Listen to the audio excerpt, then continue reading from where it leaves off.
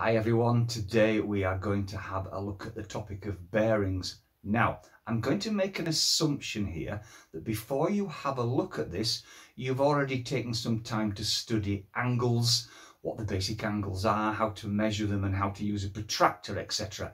Because bearings are very closely linked to angles and that knowledge is quite important before we move on. I'm going to put a link to my video on angles below in the comments and also a link at the end of this video.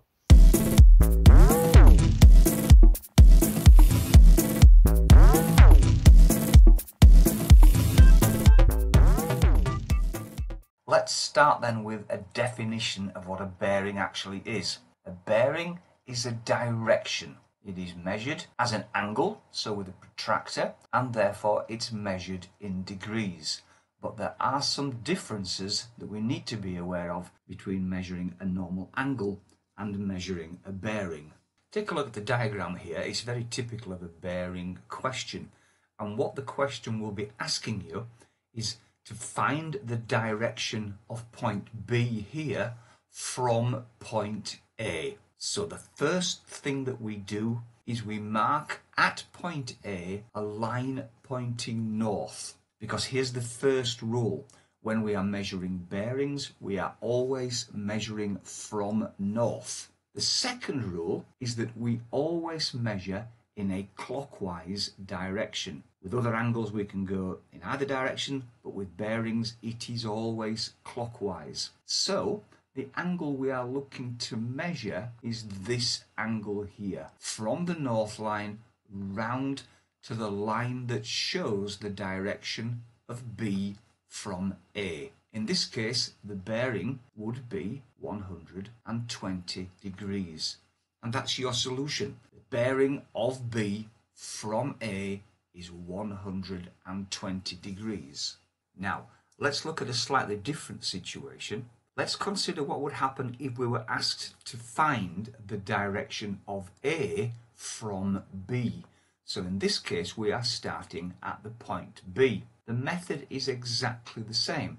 We draw a north line. Now here's where the temptation would be to measure this angle across here, but of course that would be completely wrong because that's measuring anti-clockwise we have to go in a clockwise direction. Therefore, the bearing is this angle here. How do we measure that? Bearing in mind a protractor only goes up to 180. Well, a neat little trick here is actually you do measure this angle here because there is something we already know about angles and that's the fact that if you do have a line and you want to measure all the way round it adds up to 360 degrees. So if we measure this angle here, which in fact in this case is 60 degrees, all we need to do is take the whole circle, 360, take away that 60 there, must mean that the rest of this angle here is 300 degrees. So we have stuck to our rule, we have measured the whole angle clockwise from north right the way around to 300 degrees. Here's another example and I've drawn this one just to highlight another difference between angles and bearings. We're looking for the direction of B from A. So here is our north line. The angle that we are going to measure clockwise from north is this angle here.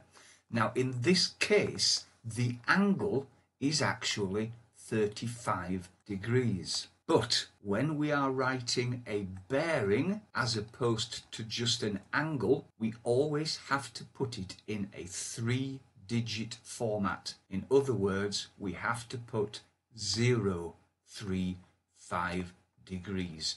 There are always three numbers on a bearing. So anything less than 100 has to start with 0 you would have 0, 90. 5 degrees would be 0, 0, 5. So that's another important little difference you need to remember when you are dealing with bearings.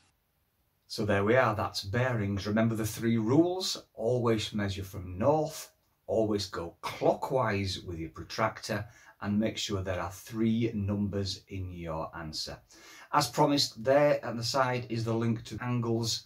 Please have a look at that. And if you enjoyed what you've seen today, please subscribe to my channel. And if you hit the notifications button as well, you'll get to see any of my new videos. Thank you.